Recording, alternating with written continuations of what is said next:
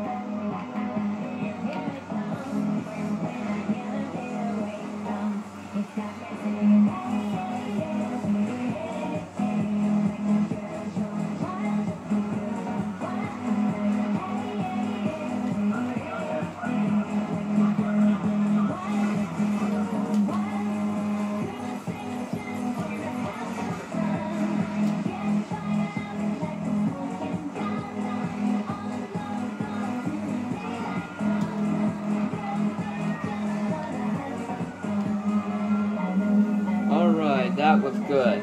Thank you for watching. Peace, mates.